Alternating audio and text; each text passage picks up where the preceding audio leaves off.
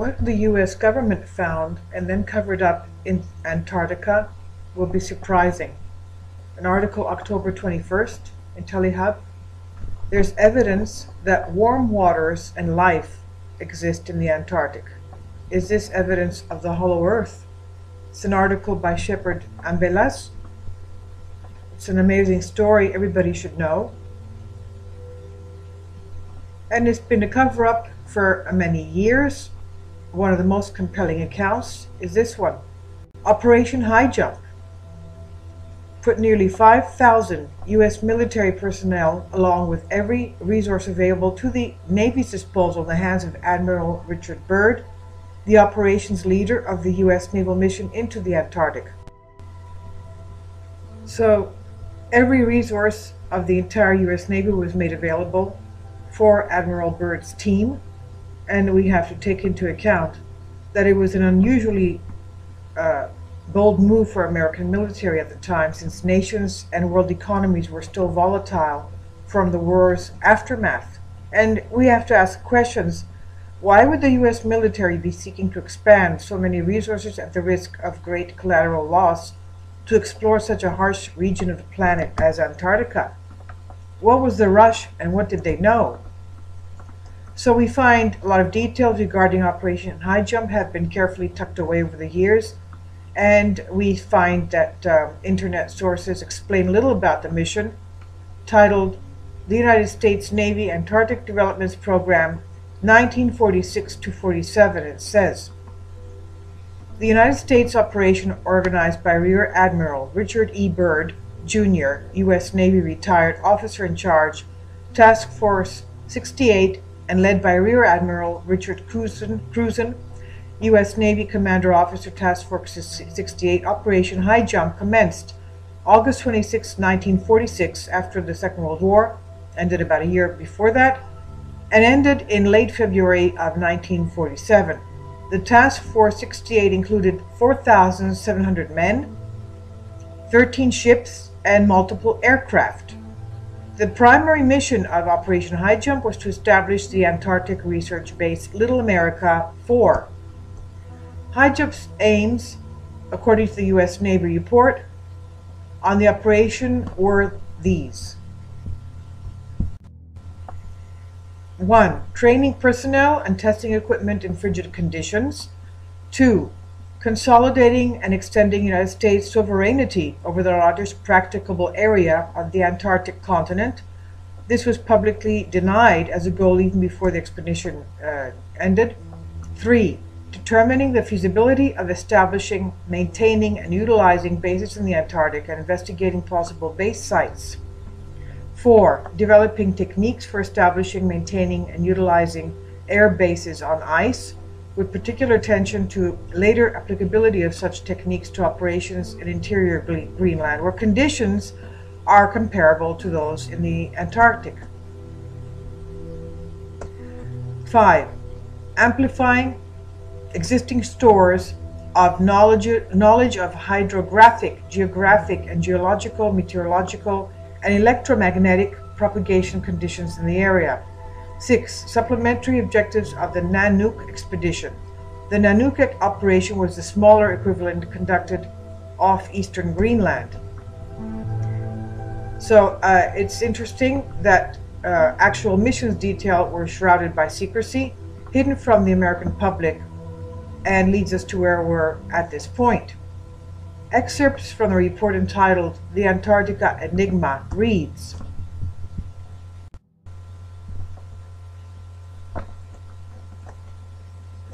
Little other information was released to the media about the mission, although most journalists were suspicious of its true purpose given the huge amount of military hardware involved.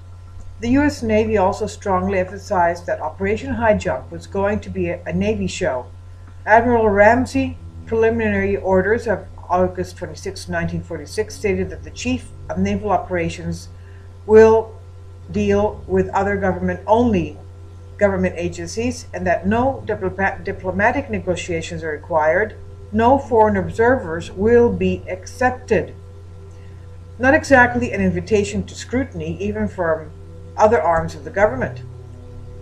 Admiral Byrd was a strategic choice as he was a national hero to the Americans. He had pioneered the technology that would be a foundation for modern polar exploration and investigation, had been repeatedly decorated and had undertaken many expeditions to Antarctica, and was also the first man to fly over both poles, north and south. However, the task force itself remained strictly under the military command of Rear Admiral Richard Cruzen. Unfortunately, the ship's central group entered the ice pack of the Ross Sea on December 31, 46, and found conditions as bad as had been noted for over a century. Sea breakers such as the US CGC Burton Island, a ship that had only recently been commissioned and was still undergoing sea trials off the California coast when Operation High Jump was launched, fought to cut away through the ice to help the men land. Richard Cruzen was one of the few men to have located at several oases. So these several oasis locations were the actual real reason the expedition team was sent there in the first place, although at the time only those with a top secret clearance would truly know the mission's true objective. An excerpt from the Daviess County Historical Society reads According to a Navy report, 1,000 miles off new coastline was discovered on exploratory trips by the Bear and Bird seaplane. Commented by Secretary of the Navy Frank Knox for his superior seamanship, ability, courage, determination, efficiency, and good judgment in dangerous emergencies, Cruzen was one of the 16 members of the 1939 to 41 expedition who received the Antarctic Expedition Medal presented in November 46. On December 2nd of 46, Cruzen once more set sail for the Antarctic continent, this time a task force commander under Admiral Byrd of the Navy's Antarctic Development Project, also known as Operation High Jump.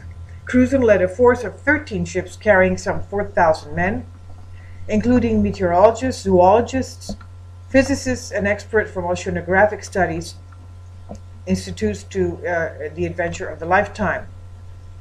Besides looking for new scientific data, another purpose of the expedition was to train Navy personnel and to test standard Navy ships and the equipment in cold weather operations.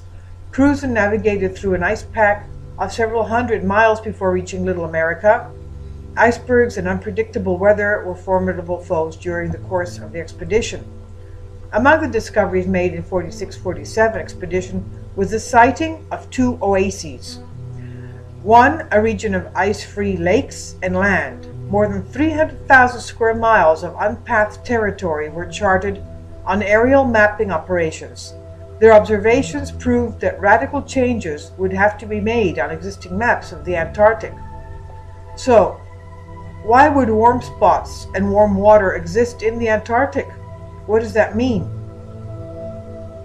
Researchers such as Dr. Brooks Agnew and others have deeply considered the possibility that the Earth itself could be a hollow uh, egg-like lake shape, meaning that there is a hollow Earth, rising to the hollow Earth theory. Although this theory seems hard to comprehend because We've been told exactly the opposite our entire lives in school and so on. So what if the earth was hollow? Would that be possible? And is there evidence to back this up? And the answer is yes. Evidence shows that the earth, earth rings like a bell after an earthquake for a period of up to about 60 minutes. And that's why some scientists and researchers say that this is due to the fact that the earth is hollow. If the earth had a solid core, then the earth the earthquake happened, it would when the earthquake happened, it would likely absorb all of the vibration and not resonate it like a bell. This is just one detail that should open our minds to the possibility that the planet is hollow. Virtually every culture and civilization across the planet throughout the ages has documented what appears to be the existence of a hollow Earth. According to Dr. Brooks Agnew, a hollow Earth is a very real possibility. Agnew has focused his studies on the North Pole region. He and his team plan to one day locate a documented polar depression, thus launching test overflights from a nuclear-powered icebreaker. Brooks and his team plan a scientific expedition to the brim of the hollow Earth, which proves to be unsuccessful at this time due to a lack of his funding. Brooks plans to use a sun compass and a gyroscope. above the 60th parallel to get accurate measurements of the oceanic depression. If the rate of change begins to increase, then likely the team would be entering the long elusive polar depression which has been reported by ancient Viking explorers and modern day seamen alike. Agnew talks about the formation of planets, Sir Isaac Newton, difference between thick and thin crust physics, zero gravity, and more on various interviews that he's made. And we also have this wonderful mystery of what happened to the reindeer that the uh, Norwegian whalers left on Antarctica over a hundred years ago. They did not believe that the reindeer would live. However, a hundred years later, they're thriving and nobody can get rid of them. It's a mystery how they, they survive in the Antarctic. We also have to remember the recent scientific experiments that uh, the International Space Station crew had conducted in space when they were conducting the water experiments. They would have a drop of water, which would take on a circular shape, and when they introduced little uh, particles of orange peels inside, the orange peels would come and float onto the surface of the water bubble, leaving the the weight the, uh, showing that the weight, the heavy weight of the items floated to the surface and were not found in the center. And this confused them thought, because they believed that it, they would stay in the center of the water bubble. So that's a small type of an example of what would happen in a planet, a body of a planet, where the crust or heavy elements would come and float towards the surface of the planet. I'll leave a link below for you for this article.